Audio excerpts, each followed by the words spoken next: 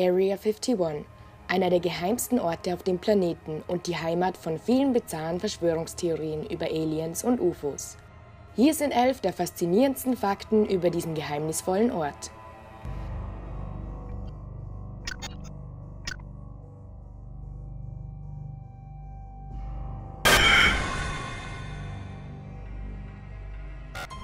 Nummer 11. Es ist eine US-Luftwaffenanlage.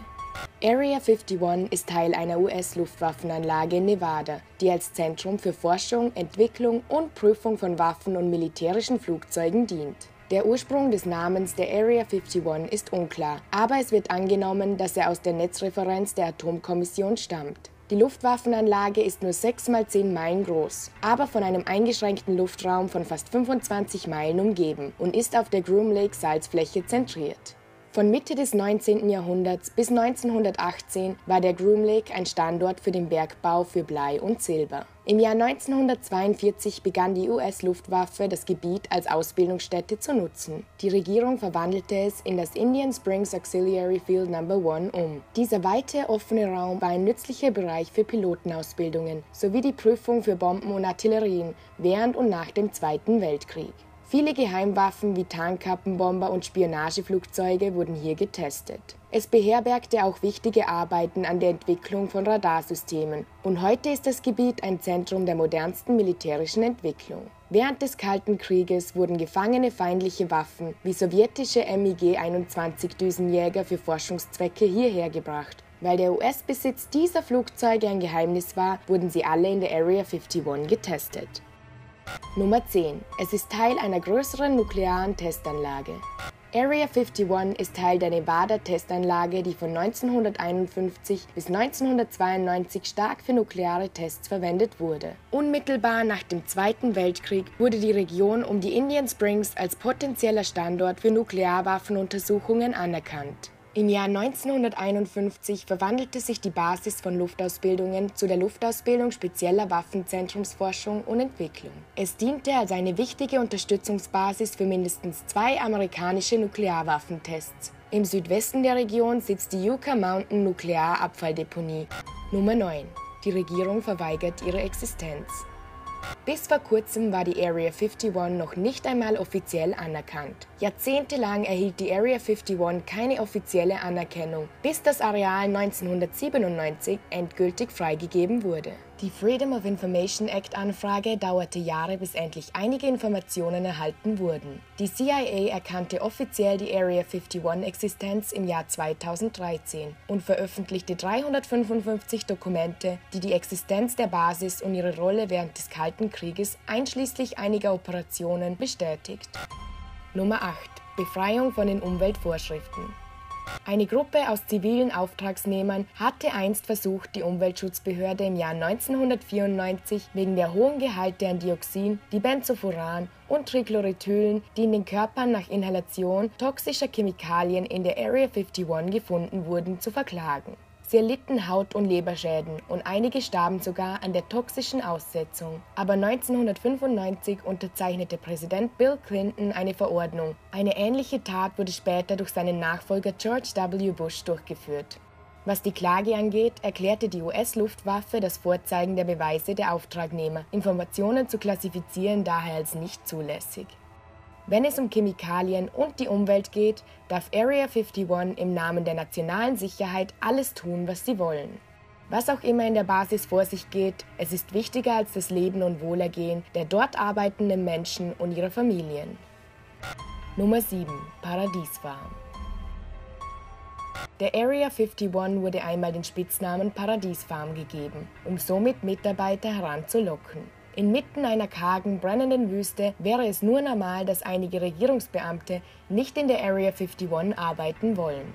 Die Gegend ist voller Staub und Sand und meilenweit von jedem Dorf und jeder Stadt entfernt, um dort leben zu können. Um trotz allem Leute heranzulocken, nannte die Unternehmensführung scherzhaft das Gebiet Paradiesfarm, welches vor allem junge und unschuldige Angestellte und ihre Familien anziehen sollte. In den frühen 60er Jahren entstand die Area 51, ausgestattet mit einem Fitnessstudio, Kino und Baseballplatz. Nummer 6. Extreme Geheimhaltung. Area 51 ist für die extremen Maßnahmen bekannt, die zur Aufrechterhaltung der Geheimhaltung aller Operationen in seinen Einrichtungen benötigt wird. Alle Mitarbeiter sind verpflichtet, einen Eid für die Geheimhaltung zu leisten. Es wird gesagt, dass die Gebäude innerhalb des Komplexes meist fensterlos sind, wodurch die einzelnen Gruppen keine Ideen für die Besonderheiten der anderen mitbekommen sollen. Bauunternehmer und Militärpersonal werden zu und von der Anlage durch Passagierflugzeuge befördert, die von einem privaten Terminal am McCarran Flughafen in Las Vegas abfliegen. Die Flugzeuge sind bekannt als Janet, die für Just Another Non-Existent Terminal stehen. Sowohl zivilen als auch unabhängigen militärischen Flugzeugen ist es verboten, in den Luftraum der Area 51 einzudringen. Im Jahre 1974 fotografierten Astronauten an Bord der Skylab-Raumstation der Vereinigten Staaten zufällig Bilder der Area 51. Der Vorfall löste eine nationale Sicherheitsdebatte aus und die CIA entschied, das Bild nicht der Öffentlichkeit zugänglich zu machen. Deklassifizierte Dokumente zeigen, dass der Groom Lake und Area 51 die einzigen Orte in der Welt waren, die als zu empfindlich empfunden wurden, um fotografiert zu werden. Nummer 5.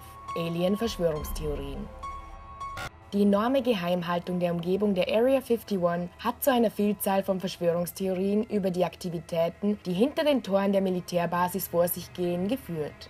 Die häufigste Anschuldigung ist, dass die US-Regierung Aliens und Alien-Technologien beherbergen. Das Gebiet wurde von verschiedenen Verschwörungstheoretikern als ein Ort identifiziert, in dem Forscher UFOs und Alien-Lebensformen studieren. Dies schließt das Alien-Handwerk, die angeblich in Roswell im Jahr 1947 abgestürzt ist, ein. In diesem Jahr veröffentlichte das Armee-Luftfeld in Roswell eine Pressemitteilung, welche berichtete, dass ein nicht identifizierbares Flugobjekt entdeckt wurde und Zivilisten ein Objekt am Himmel gesehen hatten, das einer Scheibe glich. Später nahm die Armee ihre Aussage zurück, jedoch hatte die Presse davon schon Wind bekommen und es weiter ausgebaut.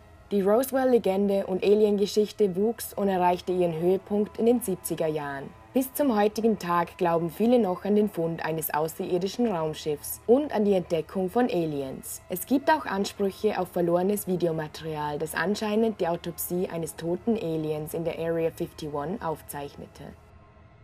Nummer 4. Ehemalige Mitarbeiter haben die Alien-Theorien bestätigt. Im Jahr 1989 fügte ein Mann namens Bob Laser noch mehr Unfug in die Alien-Geschichte der Area 51 hinzu, indem er behauptete, ein Physiker zu sein, der in der Area 51 arbeitete und Zeuge von mindestens neun Alien-Raumschiffen wurde. In einem 1996 Dokumentarfilm mit dem Titel Dreamland behauptete ein 71-jähriger ehemaliger Maschinenbauer, an einem fliegenden Disk-Simulator mit einem Außerirdischen namens J. Rod gearbeitet zu haben, der mit ihm telepathisch kommunizierte. J. Rods Existenz wurde weiter von Dr. Dan Burrish, der behauptet, ein Wissenschaftler zu sein, bekräftigt. Die Anmeldeinformationen und die Beschäftigungsgeschichte all dieser angeblichen ehemaligen Mitarbeiter sind jedoch nie bestätigt worden und ihre Forderungen wurden das Thema der Debatte und Entlarvung.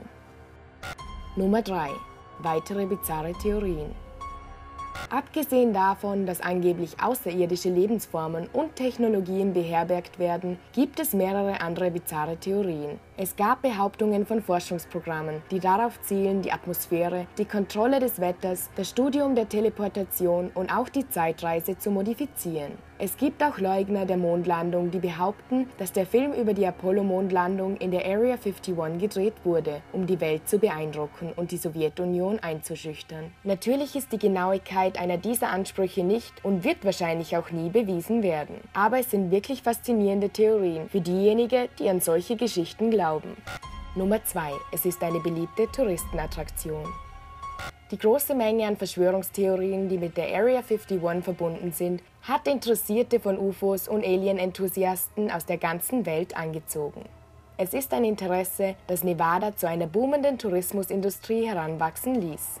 83 Meilen nördlich der glitzernden Lichter von Las Vegas werden Area 51 Touren Hotels und Waren eifrig an Besucher verkauft. Im Jahr 1996 hatte der Staat Nevada offiziell seine State Route 375 als Extraterrestrial Highway in der Nähe der Gegend umbenannt. Die kleine Stadt Rachel, die sich entlang der Autobahn befindet, erhielt Kult- und Berühmtheitsstatus für die Nähe zur Area 51. Allerdings ist den Besuchern und Touristen klar, dass die US-Regierung dieses Gebiet streng behandelt und abgrenzt. Zu jeder Zeit wachen Teams an Wachleuten im Umkreis über das Areal, welches auch mit Kameras und Bewegungssensoren gesichert ist.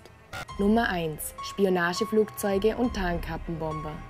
Durch die Ursprünge der Area 51-Assoziation könnten Alien-Lebensformen tatsächlich von entschiedenen terrestrischen Wurzeln stammen. In den 50er und 60er Jahren wurde der Groom Lake, der sich durch die Beziehung der Sowjetunion verschlechterte, zum Testgelände für das Projekt Aquatone der CIA und später für das Programm Oxcart. Dies waren Höhenaufklärungsflugzeugentwicklungsprogramme, die schließlich zur Produktion der U-2 und A-12 Spionageflugzeugen führte. Das Geheimnis um diese Projekte und die Notwendigkeit, diese im amerikanischen Luftraum zu testen, soll zu der hohen Anzahl an UFO-Entdeckungen in der Area 51 beigetragen haben. Nach den Dokumenten, die von der CIA im Jahr 2013 veröffentlicht wurde, wurden die Höhenflüge der Recon-Flugzeuge mit ihrer unglaublichen Geschwindigkeit kombiniert und verursachten einen Dorn unter Piloten kommerziellen Fluggesellschaften, welche auf niedriger Höhe fliegen müssen, wegen all den UFO-Berichten. Die Form des A12-Rumpfes war breiter und scheibenförmiger wie die meisten. Wenn aber auch noch Sonnenlicht auf das Titan reflektiert, erscheint es noch mehr aus dieser Welt. Aber CIA-Dokumente besagen, dass sie weiterhin die Existenz der Area 51 und die Spionageflugzeuge verleugnen. Stattdessen erklärten sie die Geschichte über die Trümmer von UFOs aus dem Himmel als fallende Wetterballons. Abgesehen von den U-2 und A-12 wurden mehrere Auftragsflugzeuge hergestellt. Sowohl SR-71 sowie Lockheeds D-21 Techboard und F-117 Nighthawk Tarnkappenfliegerprojekte wurden alle entwickelt